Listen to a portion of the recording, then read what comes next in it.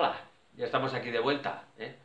Así que eso, si estáis bien sentaditos, aposentaditos, con las palomitas, con el bocadillo de mortadela, pues nada, vamos a proceder a, al desgrane.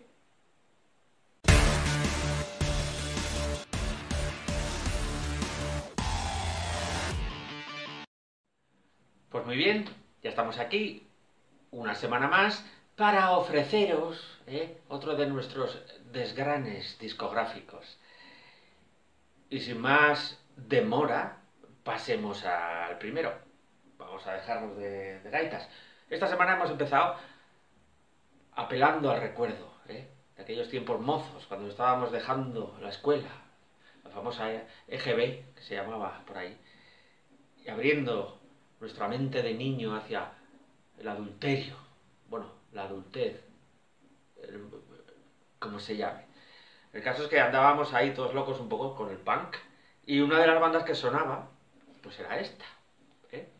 nada más y nada menos que Decibelios, y su disco llamado Caldo de Pollo. Vamos, fantástico. Un grupo que, bueno, se movía en el género, digamos, del punk hoy, ¿eh? dentro de los skinheads, red skins, izquierdas, eh, uy, skins de izquierda, skinheads, eh, no sé, todo ese rollo que las etiquetas ya sabéis que siempre me sobran. Y pues nada, iban en, ese rollito con botas de, militar, pantalones estrechos, los tirantes, todo eso. Y de ese rollo, ¿no? El punk hoy, si ya sabéis lo que es. Y pues vinieron con este disco maravilloso, con esta portada genial, este esqueleto, caldo de pollo, que bueno, las canciones, Piara Indecente, una introducción fantástica, a base de los cánticos y gruñidos de una piara de cerdos, eh, Fil de puta, sin explicación, el sexo tenía un precio, Sor un upstart, algunas canciones son en catalán, ¿eh? Hoy, hoy, hoy, boca de Dios. Y después en la cara B, seminarista y los Boy Scouts, matar o morir, local 15, visitante 0, haciendo alusión al maravilloso y noble deporte del fútbol.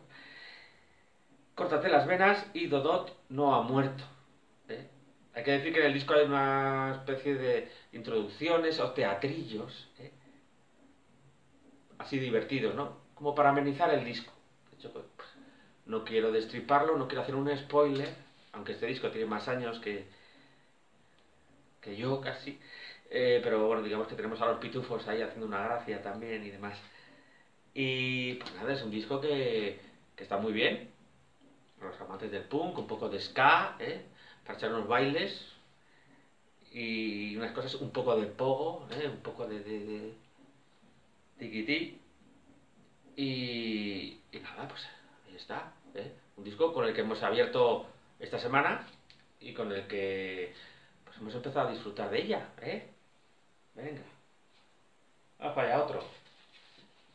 Ahora voy a traer aquí un otro disco de una banda de las que se denominaron como Sleazy Rock. No es que lo diga yo, es que lo he leído ahí en Wikipedia, porque no lo sabía tampoco. ¿eh? Se trata de Los Ángeles Guns y este Coked and Loaded. ¿eh? Los Ángeles Guns, ahí los tenéis. Y bueno, al parecer eh, este Sleazy Rock era algo con lo que denominaban a las bandas que no eran exactamente glam rock, ¿eh? iban por el estilo, pero, pero eran digamos un poco más, más durillos, ¿no? O más barrio bajeros, o eso pretendían. Rollo Molly Crew y todo eso.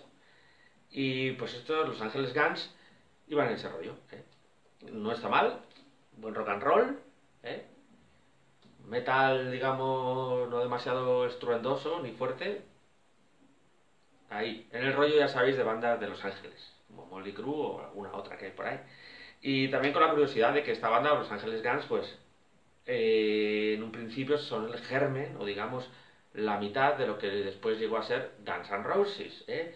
Al parecer había dos bandas, el A Guns y Hollywood Roses o algo así, se juntaron e hicieron Guns N' Roses con Axel Rose, pero luego gente de la banda no estaba muy a gusto y se volvieron a Los Ángeles Guns y Guns N' Roses quedó por otro lado con la historia que ya sabemos. ¿eh? Pero estos son los LA Guns.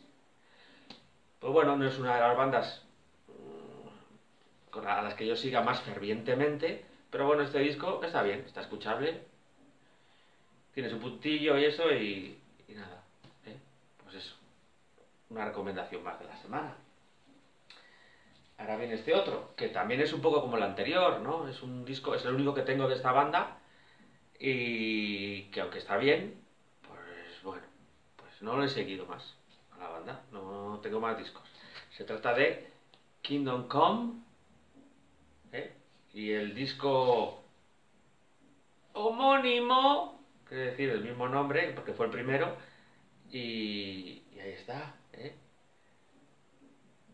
Kingdom Come. Lenny Wolf cantaba, James Koftak a la batería, Rick Steyer a la guitarra, Johnny B. Frank al bajo y Danny Stack a la guitarra solista. Bueno, pues aquí está Kingdom Come. Eh, hay una curiosidad porque, a ver, yo cuando escuché esto dije, ah, pues está bien. Luego lo puse en casa y dije, coño, ¿pero esto qué es? Lo miré el disco y dije, pues sí, sí que son Kingdom Come. Pues uno cree que está escuchando a Led Zeppelin. ¿eh? La voz de este hombre, del amigo Lenny Wolf, muy, muy similar a la de Robert Plant. De hecho, hay alguna anécdota por ahí en internet hablando precisamente de eso, ¿no? De, pues de, que había gente que al escuchar a Kingdom Come, las primeras canciones, pues pensaban que era una reunificación de Led Zeppelin, pero no, ¿eh? era Kingdom Come. Y a mí también, me, cuando lo escuché, dije, joder, pues es que son iguales, ¿eh? esa voz. Hombre, el sonido es un poco más, más duro, más hard rock. No tiene tanta guitarra acústica, aunque hay alguna canción por aquí que la tiene y que vamos, es que parece el Zeppelin, lo siento. Bueno, lo siento no, porque está muy bien. ¿eh? Pero bueno, aquí están los Kingdom Come. ¿eh? Otra propuesta que os hago. Como os digo, pues no es una de las bandas que yo muestre más admiración, pero, bueno, ahí está. Es un buen disco y, ahí está. Forma parte de nuestra miserable vida también. Ahora, pues nada, ¿eh? como va a venir siendo habitual, algunos colaboradores que vamos a tener para el programa, simplemente pues dándos un buen consejo. ¿eh? Venga, vamos con él. Deberíais suscribiros al canal de Eddie Good Place porque la verdad eh, es la bomba. Gracias, Dave. Bueno, pues sigamos, ¿no? Después de este consejo de nuestro gran amigo Dave Mustaine de Megadeth, eh, vamos a seguir, ¿no? Eh, aquí os traemos, para luego los que me decían que este no pone nada en español, pues tampoco lo dice nadie, ¿no? Pero bueno vamos a traer un disco, una banda mítica, como es Leño. Leño, sí. A mí de las pocas bandas de rock en español que me gustan. Y este más madera, fantástico, más madera. ¿eh?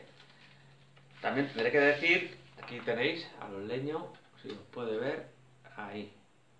Ahí, qué guapos, aquí un poco más macarras, o del revés, como queréis. Y la cosa es que, bueno, este disco, que no sé en qué año salió, la verdad, pero bueno, creo que es el segundo disco de Leño, después del fantástico primero también, con el nombre de Leño. Y decir que, bueno, a ver qué canciones tiene, pues ya las conocéis.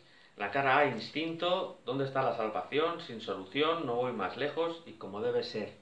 La segunda cara, Sí señor, sí señor. Cucarachas, La noche de que te hablé, Calendario, Apágalas y lo que acabas de elegir. Pues aquí tendríamos a los tres leños, ¿eh? que sería Rosendo Mercado a la guitarra y voz, Ramiro Penas Roca a la batería y José Antonio Urbano Gornals, bajo. Teddy Bautista a la producción, dirección, arreglos y teclados. Lo de arreglos y teclados y producción, eso creo que es de broma, ¿no?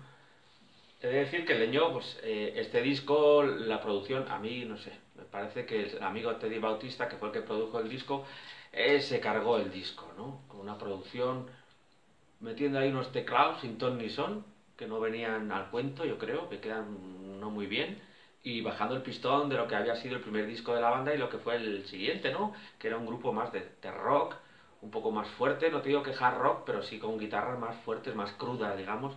Y este hombre de la producción pues, bajó la guitarra a la mínima expresión, sonando ahí a, a chinchinabo, y metiendo, como os digo, unos teclados ahí, ton ni son, no lo sé.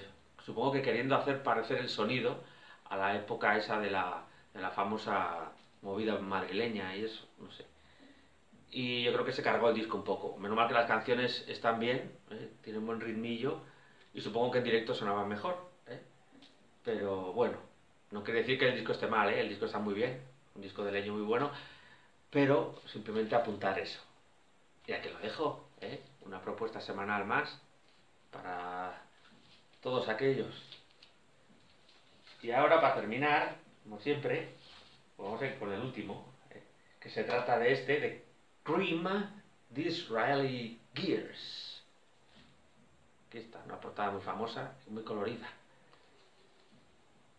Todo ahí muy, muy florido y demás. Pues nada, aquí está un disco de Cream, ya sabéis que es una super banda formada por Eric Clapton, Jack Bruce y un tal Baker a batería y que fue, pues, digamos, una super banda, que llamaron en esa época. Y este disco con una canción que, vamos, que fue un, un masterpiece, un hit single de la época y hasta hoy, como puede ser Sunshine of Your Love, que está muy bien. Hizo una versión Jimi Hendrix, que también está muy bien. ¿eh? Y pues nada, un disco de rock de la época, de la sesentera y tal. Rock, blues, ya sabéis, el amigo Eric Clapton y compañía lo que hacían, ¿no? Eh, con una aureola, digamos, hippie, que a mí no acaba de gustarme.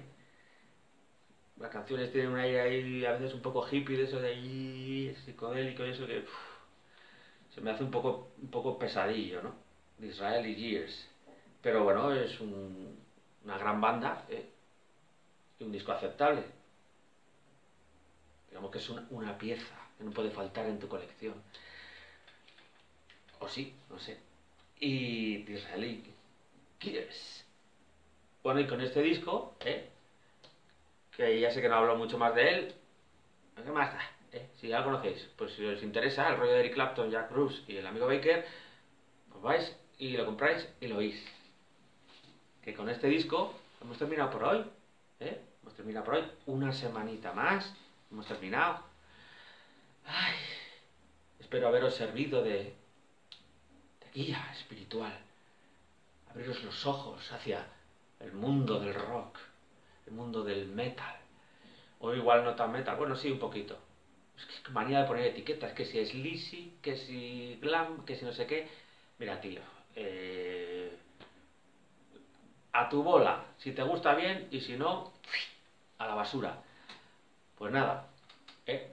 simplemente, como digo siempre, agradeceros vuestra presencia aquí en nuestra pequeña capilla del rock and roll y nada, citaros para la, próxima misa que será, pues ¿cuándo va a ser? El viernes seguramente, el próximo viernes y nada, desearos que paséis una buena semana, que hayáis pasado un buen rato conmigo, como yo lo hago con vosotros, y que tengáis un buen fin de semana, disfrutéis y escuchéis mucho rock and roll. ¿eh? Venga. Ahora me despido. Agur.